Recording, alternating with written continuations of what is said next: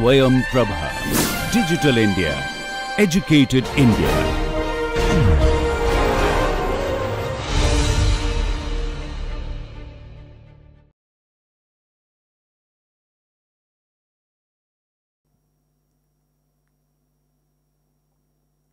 When we are talking about mentoring in the organization, we need to recognize the criticality about the choice of the mentor. Mentoring is can be very fruitful if the choice of the mentor is appropriate. So, we need to be conscious and proactive about seeking mentorship and in that process we should not be surprised if someone uh, does not uh, accept our request to be the mentor. We need to patient about it because mentoring requires involvement and time commitment on the part of the mentor. Many times they may not be in the position to offer that much time, attention, commitment and care. So, it is perfectly valid that some uh, seniors may not be able to accept the request of request of mentoring from their younger colleagues. So, we need to be sure that mentors understand what is your expectation in terms of time and advice. Mentoring is successful most when they, when it is backed by some agenda. If mentee knows what he or she is expecting to develop, uh, what is obstructing in the best of the performance in their job, what is expected from this employee to perform or to be like in the next promotion or in the another assignment. When employee have these kind of insights, mentoring works the best. We need to be judicious about mentor's time. If mentor is kind enough to give us time, still we need to be judicious, we need to be conscious of the value of his or her time and accordingly we need to engage with our mentors.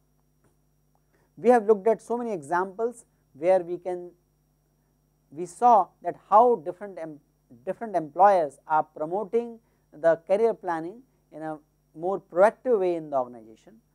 Along with those things, along with those examples, we can look at many many other activities which have immense value in helping employee to plan their career. These uh, activities, many of these are already being discussed in this session like job posting, tuition reimbursement, performance appraisal for career planning, counseling by managers, uh, job rotation, counseling by HR, HR need to be available for the counseling if employee wishes so uh, about their career. Succession planning, succession planning we discussed briefly in the previous session which is about maintaining or preparing people uh, to be more talented. Succession planning is already we have discussed in the last class which is about preparing the talent pipeline means the preparing the pool of the talent to take up the uh, uh, next level job. We need to have succession planning if not possible for all the position all the senior positions most for for the critical positions critical senior level positions there has to be uh, pre uh, there has to be proactive succession planning on part of HR. Uh, formal mentoring, lot of organizations have established certain procedures to identify the mentor and include mentoring as part of the uh, manager's KRA or key result areas. Uh, common career paths, career paths have to be defined and can be defined by many organizations for the uh, employees in their organization.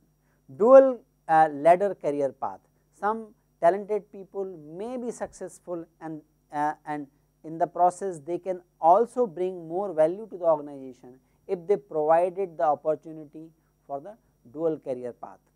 Career booklet or pamphlet if uh, uh, must be uh, can be prepared uh, by the employers to make their employees more aware of the career possibilities, career options, written an individual career plan should be part of the performance appraisal system, because performance appraisal without development plan is anyway incomplete. So, why not to make it more structured and make the career development plan as part of the performance management system. Career workshops, these are more structured uh, uh, engagement uh, an interaction between employees and the expert to help them to identify their interest, values, aptitude, uh, job orientation, career anchor and help them to uh, pursue those interests and build their career and develop their career. Assessment center is a thorough process to look at different uh, competencies of the employees. We, we talked about the assessment center in the last session wherein we discussed that assessment center are generally the combination of various exercises virtual inbox, case analysis, simulation, teamwork and psychometric assessment many many exercises can be uh, incorporated in the assessment center which gives the holistic picture about the competency of the employee. Training program for managers is also very important. Not all of us can be natural mentors, not all of us can be proactive in managing career of our employee. For that we may require training and organizations can provide that training to the uh, to their managers.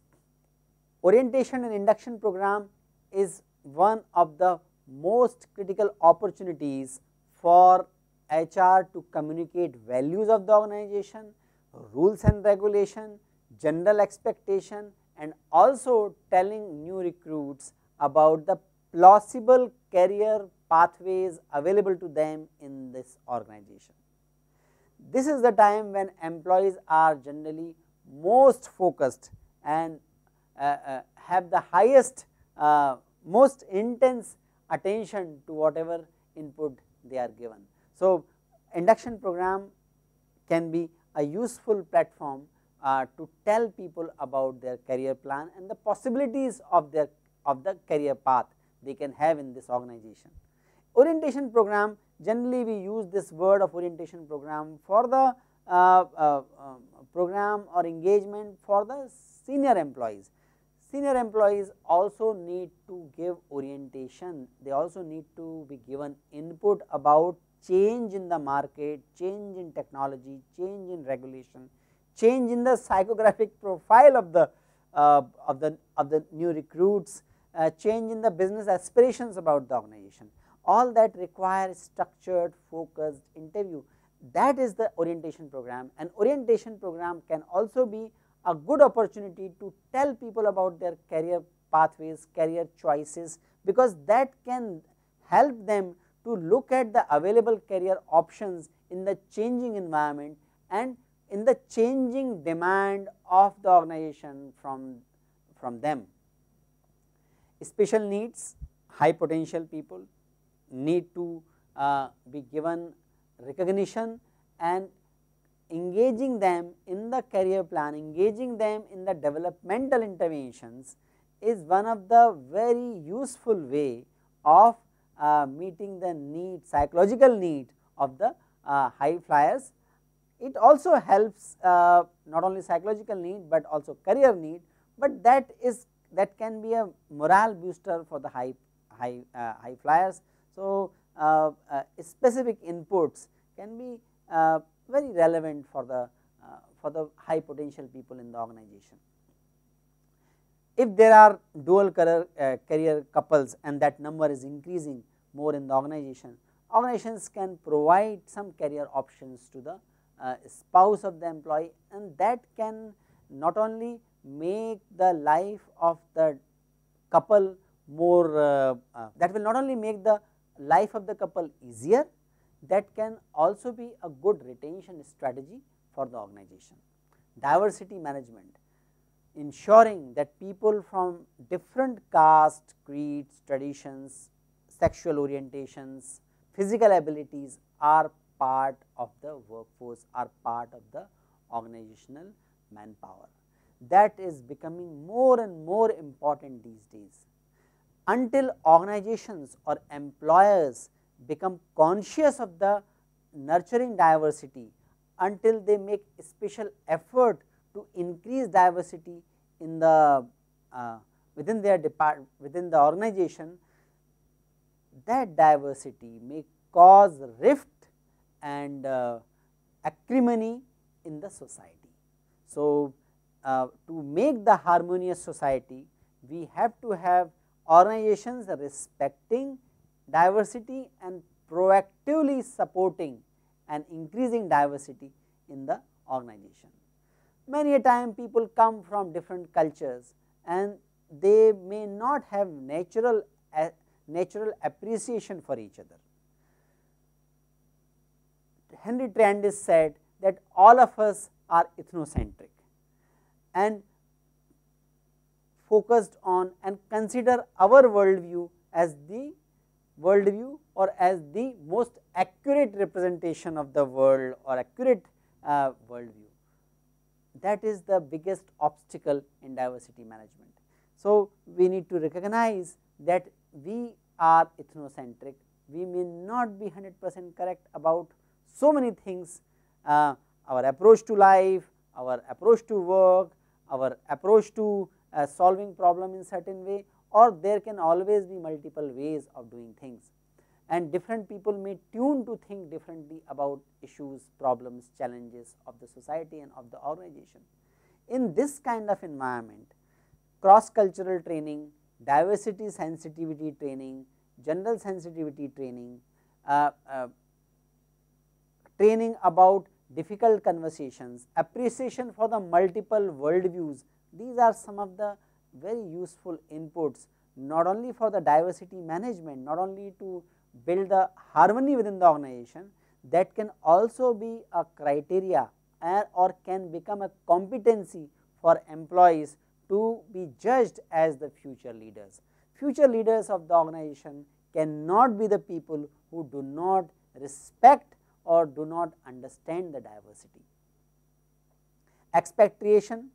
Expatriation, repatriation, people call being called from the foreign countries to take up the special roles or people being sent from the uh, uh, home country to the foreign countries to manage their uh, establishments are again the ways of managing career and uh, development practices.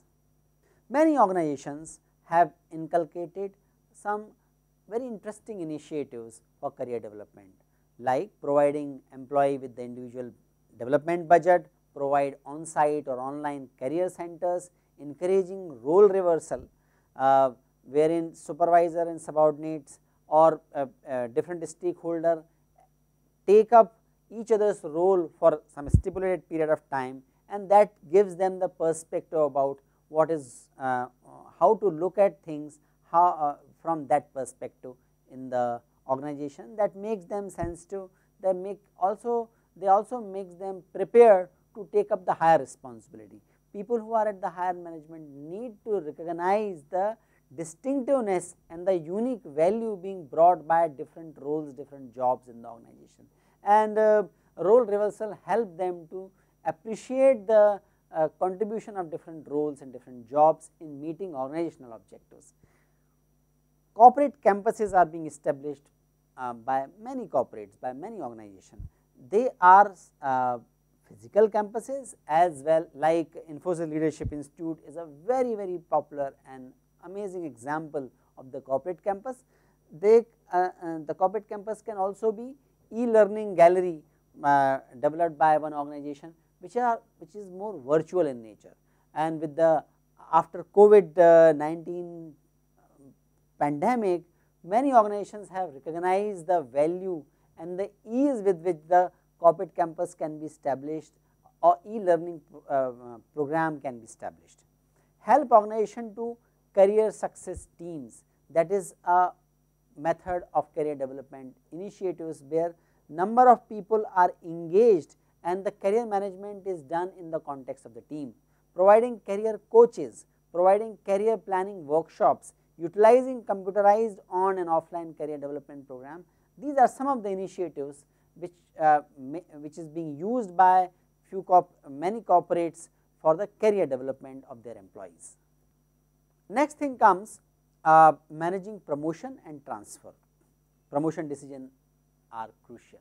These are not easy decisions. generally most of the time uh, promotion decisions require certain dilemma to be resolved and those dilemma those questions may be related to seniority. Whom to promote the people who are most senior or people uh, who are more competent? Answer is not obvious. Uh, how we should be how we should measure the competence? There, should there be more objective assessment? Should there be the reporting by the stakeholders? Should there be more subjective assessment? Can assessment be based more on behavior or more on performance and result? These are the tricky questions. We will be talking about the performance assessment part in the next session, wherein we will discuss about the performance management system, but we need to mention and we need to recognize at this stage that uh, uh, managing and measuring competency in the organization itself is a crucial question, because many times we do not know whether subjective assessment will be better about a competency or objective assessment will be better about the competency. Whether assessing behavior is a better predictor of the job performance or assessing result is the better predictor of the job performance uh, pertaining to different jobs in the organization. Is the process formal or informal? Should decision be uh, uh, done more in the formal way, more structured way or it is more on the informal which takes care of the many stated and unstated factors like familiarity, coming from certain region, belonging to some caste, uh, speaking a particular type of language, coming from some special type of campuses. These are the things which are being considered and many more in the informal decisions. So, can we made these elements more formal? Can we make these uh, elements clearly stated and can we make these things as the policy for the uh, promotion is a big question. Some of these can be made the policy, but many of these uh, cannot be made uh, as a policy because that may generate some contradictions in the uh, preferences amongst the team members, Uh, amongst the uh, top team members. Uh, another uh, decision about promotion is related to the vertical or horizontal expansion of the organization. Should we give more responsibility or should we give different type of responsibilities? Should we just increase the geography of the people and based on that promotion title can be decided or we need to have some qualitative change or qualitative difference in the nature of the job only then we will call it promotion or uh, uh, we can also call it just job enrichment uh, for the horizontal expansion of the job. So, these are the important questions which uh, have to be resolved and uh, important to decide the policy about management decisions. Uh, these are important to decide about the promotion decisions in organizations. Next thing is uh, handling transfer. Employees reason for desiring transfer and employer's reason for transferring employees. These are the two aspects of the transfer. Employer's reason for transferring employees are to vacate a position where employee is no longer needed, uh, to fill the position where employee is needed, to find a better fit for employee within the firm, to boost the productivity by consolidating the positions. So, these are the reasons why employees are transferred. Employees proactively many time proactively also look for the transfer because it helps them in personal enrichment and growth because uh, they may get more interesting jobs or they may also resist the transfer because uh, employees can look for greater uh, transfer because when if, if it increasing greater convenience and advancement possibilities. So, employee transfer have to be taken care of from the employer as well as employee's perspective. After transfer, HR required to do something uh, before the actual retirement of the employee to make it successful and make it uh, helpful for the employee. So, employer need to do some pre, uh, pre retirement activities uh, that can be based on the counseling practices uh, like explanation of the social security benefits uh, available to the senior citizens, uh, how they can spend the leisure time, uh, they can be counseled about that. Retirees can also be given inputs and probably this is the most important thing financial and investment counseling, how to invest the money, how to manage their money which they are likely to get after retirement, health counseling, how, how to take care of the health, how to manage themselves, how to manage their health and how to manage their health care. Many people, probably most of us identify very closely with our job and when retirement takes place, we not only lose job, but we also lose our identity. That can be psychologically traumatic experience for many of us. So, it is all the more important to prepare psychologically about the retirement. Uh, counseling for the second careers, there are many aspects, there are many jobs and uh, jobs like freelancers and also jobs of the full time workers which are available which happen to be available to the retirees or the retired professionals. Those things must be shared by the uh, company. Of course, retiree also need to search about that, but in the pre-retirement stage organizations are supposed to take uh, HR function supposed to tell them about the uh, second career options and ways of pursuing those options. Sometime within organization itself there is an opportunity for the second career. Those opportunities must be clearly elaborated, they must be uh, uh, properly communicated, should be communicated timely man in a timely manner so that retirees or, uh, or the people who are nearing retirement can prepare themselves for those uh, second career options within the organization. There have to be certain things to be taken care of when you are hiring old employees or older employees or employees who are pursuing their second career. First is uh, there has to be a, a culture of respect and honoring experience we looked at in the maintenance stage while describing the maintenance stage of the career. We also looked at the uh, decline uh, in the decline stage of career what people expect in those stages are not more of the financial incentives, but more they look for is the recognition for their experience and competency and uh, their ability to influence or teach coach or mentor the younger employees. So, any culture which do not honor the experience should not indulge into hiring the uh, second career people or people after retirement. Uh, a important need for the people who are in the decline stage of career and to some extent maintenance stage of career and certainly the decline stage and certainly and more so uh, uh amongst the people who are uh, who are pursuing their second career and that is flexibility. Flexibility in using their time, flexibility in working on different projects are very important to make the older workers successful in your organization.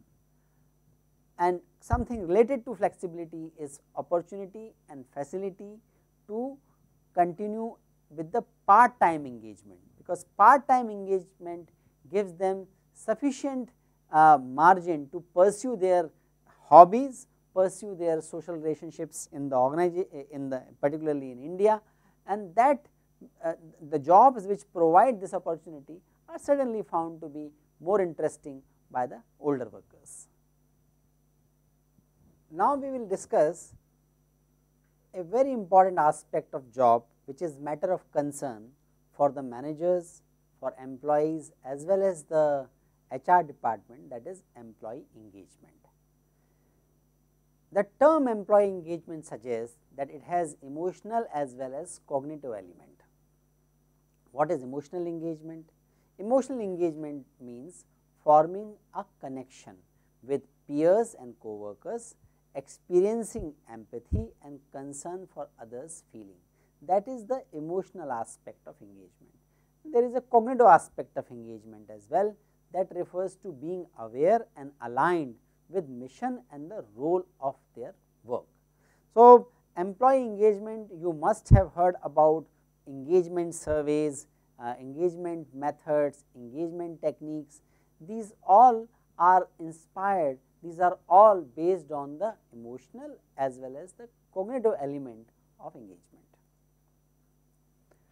Factors that affect engagement, employee engagement are uh, organization culture, recognition and growth opportunity, role clarity, infrastructure support, adequacy of training and development. Employee engagement is the result of the availability of hygiene factor as well as motivating factor. If only hygiene factors are there, engagement will not happen. If only motivating factor is there and hygiene factors are not there, then also employee engagement will suffer. So, employee engagement is result of or it is affected by so many such factors which I have just mentioned. The important question is how we can enhance the employee engagement. The first aspect of employee engagement is that organization must communicate their strategy and direction clearly with care. Organizations need to inspire and motivate their employees with the help of data and insight. They need to establish stretch goals collaboratively and also they need to give opportunity for growth and developmental inputs along with the stretch goals.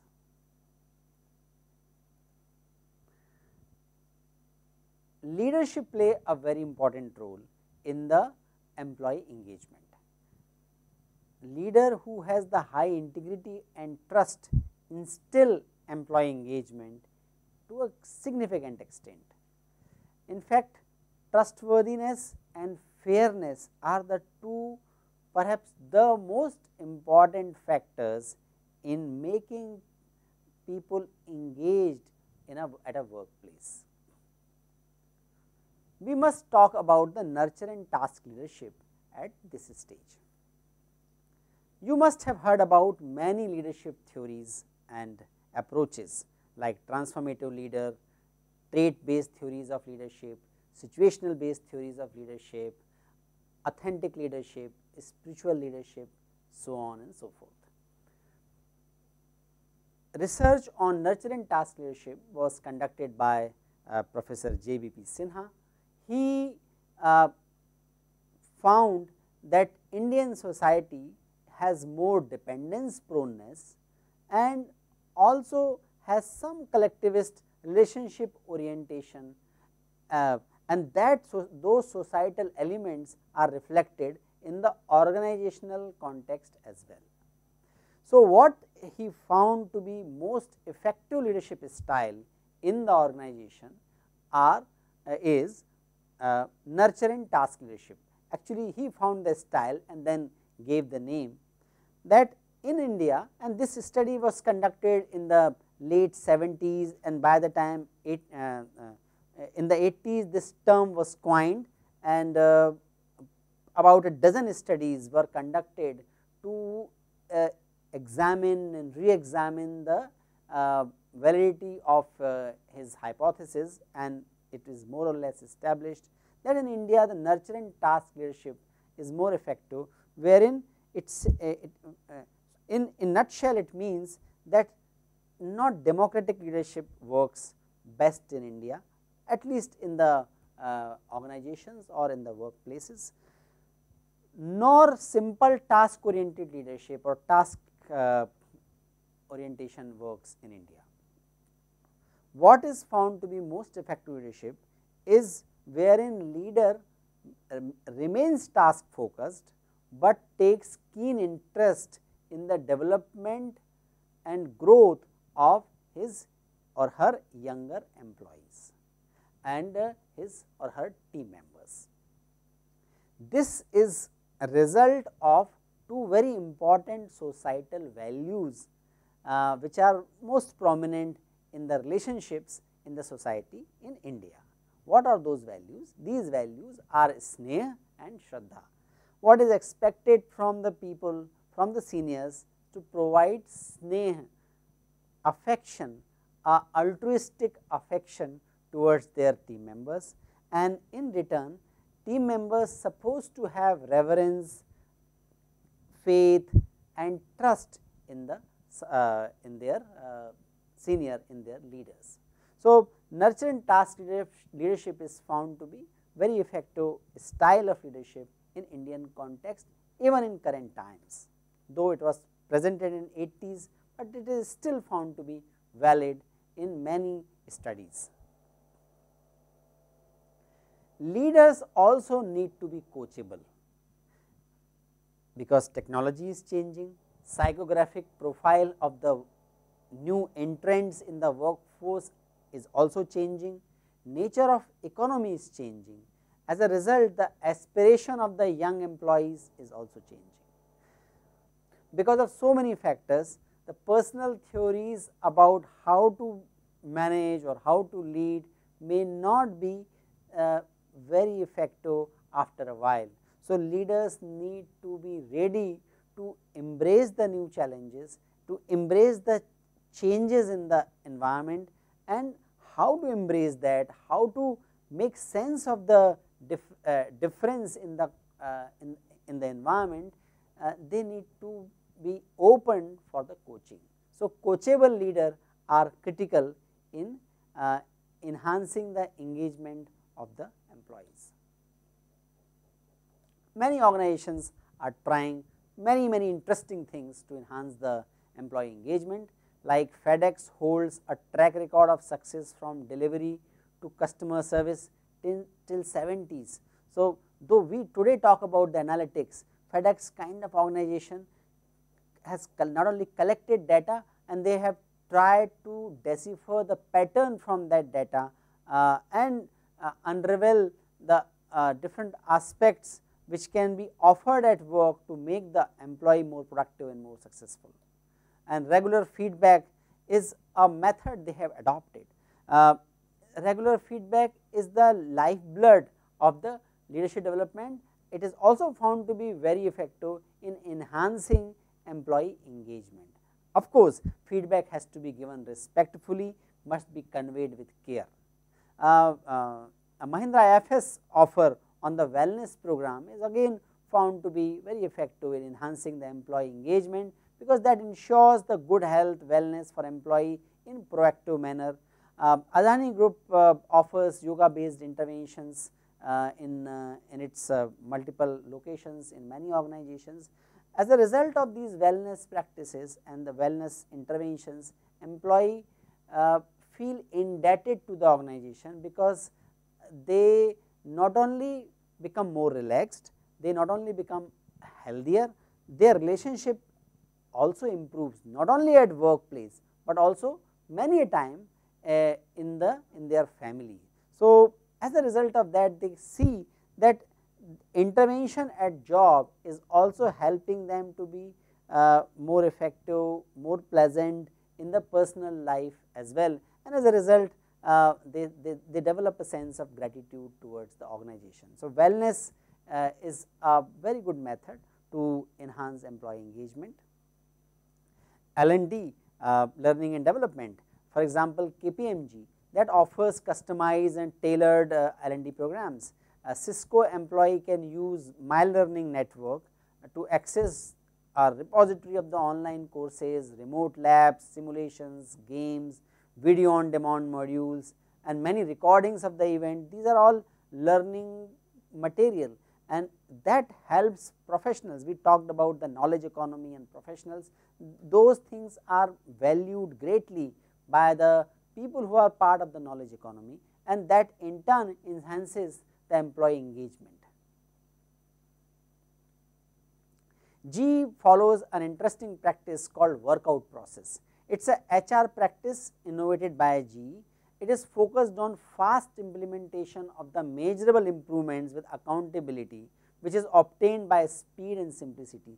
So, this is a this is based on a OD intervention where people from the different departments come together identify what are things to be done to enhance the uh, enhance the performance of the organization and not only identification happens then and there the meeting then and there the teams are constituted the measurement aspects are identified and then a follow up mechanism is set up.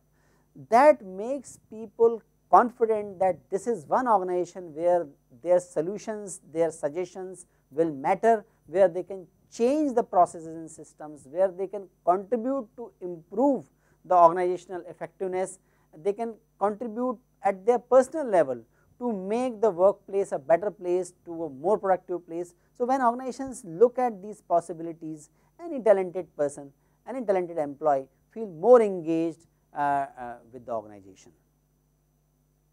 What can I do to be more engaged at work? It is not only the responsibility of the uh, HR managers or employers to enhance the engagement. We can also do something to be more engaged in the job. Uh, planning works. If we plan our work better, we become and we remain more engaged. Daily planning works, contingent planning also works. So, we need to plan for the unforeseen events as well. Uh, it has impact on both, it has impact we are discussing engagement. So, uh, this has come in the context of engagement, but it also increases productivity. Uh, daily contingent planning benefits even when we face the interruption during the day. We all know that none of us, most of us do not have the luxury of undistracted time, particularly in the era of WhatsApp, Facebook, LinkedIn, we cannot expect undistracted time, but when we our planning, when we also have a contingent uh, contingency planning in our general planning uh, calendar, we can bear with these interruptions. So, towards the end we will have a quick recap of what we discussed in this session. Uh, uh, career can be managed, I think that is a most important message, career can be consciously managed, employee, employer and HR function all have some important roles, uh, important contributions to make to manage the career.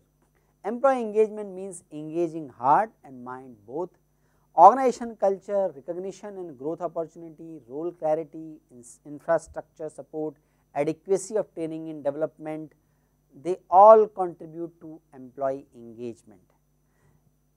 And at personal level, daily planning and contingent planning works to enhance not only engagement, but productivity. Thank you very much. Namaste.